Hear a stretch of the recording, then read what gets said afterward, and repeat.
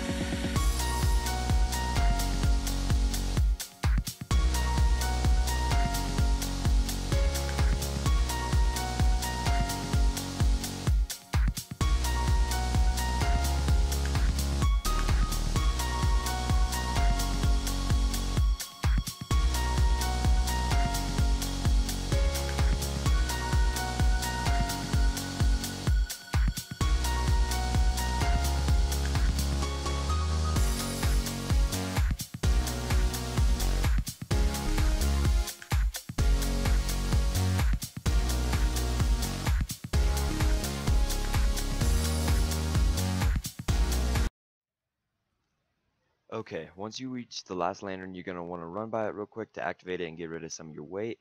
Then run on the platform, it will shake your controller a bit and it'll start um, like building itself up without you even standing on it. Jump up, get to the edge of the rock, you're going to have a ton of thralls still coming in. This light will normally damage you, but you shouldn't have to worry about too much. You should be just fine if you're standing on the very edge of the rock. And then basically you're, all you got to do from here is kill the ogre that's going to spawn way in back, and then you're home free. I'd recommend using a sniper or like a Gjallarhorn to kill this ogre. He is a bit difficult, but not horribly hard.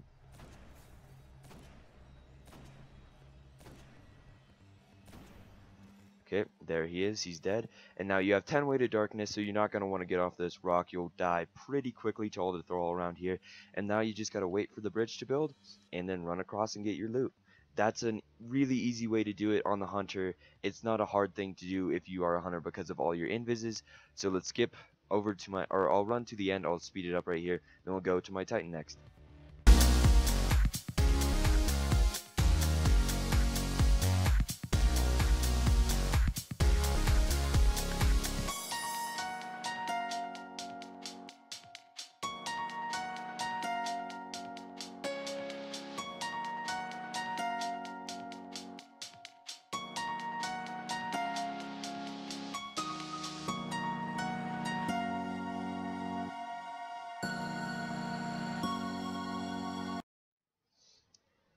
So now I'm on my Titan and I'm not actually going to be able to run through the maze because I forgot I had a Crota checkpoint on this guy and I never did finish Crota. So I won't run through the maze but I'll show you guys the strategy for a Titan to run through the maze. I personally think the easiest subclass to use is Striker, mainly because you have Slam as well as the Lightning Grenades. Now the Lightning um grenade, basically what it does is when you throw it down, it'll take out a whole group of thrall, thrall instantly compared to some of the other ones. It takes a minute to damage them and it doesn't stun them as much. And then with the Titan, you also, or with Striker, you also Smash. If you ever get a ton on you, you can just use your Super Smash all of them and get going again. But with the Titan not having any invisibilities, you're definitely going to need a primary that does AoE damage. Now, the best one, in my opinion, would definitely be Fatebringer because you have Firefly, Headshot, and it takes out a ton of thralls around it and explodes around. You hit one thrall and it stuns the rest around it, as well as Outlaw just helps you reload really quick. If you don't have this, use something like a Word of Crota or basically anything that does explosive damage that'll damage targets around it. Use something like a Zhalo, it'll chain with between them. Basically what this will do is since you don't have invises when you stop the light, you turn around and shoot them until they explode a bunch and get rid of a lot of them very quickly instead of having them all like if you're using just a normal like scout rifle or a pulse or something they'll all get uh, on you and you won't be able to kill them fast enough compared to something with AoE you will be able to as well as your grenades. But with this you're basically just gonna have to run follow the lights and not count on invises and use your sniper at the end to kill the ogre. Sorry I'm not able to give you guys a run through of how to do it like me actually running it because I have the checkpoint but now on to my warlock Okay, now we are on my Warlock, and I will show you the setup I use. With Warlock, you actually have a lot of different ways you can run this, and I think it's really just down to opinion what you're going to run on it. I personally run self-res because I'm pretty sure I'm going to die on my Warlock class, but a lot of people run Voidwalker just because you can chuck the massive Void Bomb and take out every single ad there, as well as if you use Stormcaller, you can pop Stormcaller and run through just Emperor Palpatining everything in your way and not really having to worry about anything. So any of the subclasses here really do good if you just want to run through and kill everything, use those two. But if you want to play it more on the safe side, I would recommend using um the self-res, which is what I like to use because I don't normally count on my supers just in case they're not up. But um, another good thing to use, which I also said on the Titan, is a primary that does AoE. I have two here. I'm using the Fatebringer for an example, but here's another one. If you do have the hand cannon from Trials of Osiris or Osiris Year 3, it has explosive rounds and Firefly, which is exactly what you're looking for on any gun to do this. Just something that can do damage to everything around it. And then um, I'm using Sunsingers so I'm gonna actually switch this over to solar grenades. These are the ones that stay on the ground and they will distract everything as well as just start burning the entire all of the hordes behind me and it'll be an easy really easy way to run through. And I'm using this is exotic right here which basically when I come back from the dead it disorients every enemy near me so I have a little bit of more time running. So let's get right into the run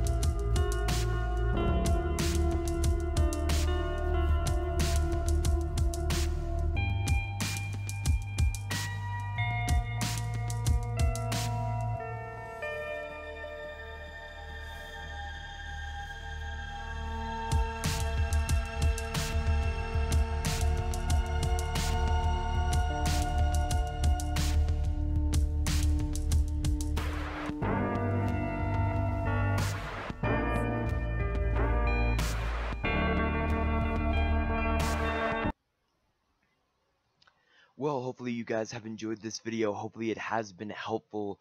Thank you guys so much for watching. Don't forget to drop a like down below. Subscribe for more Black Ops 3, Destiny, and World of Warcraft. And I will see you guys later. See you guys.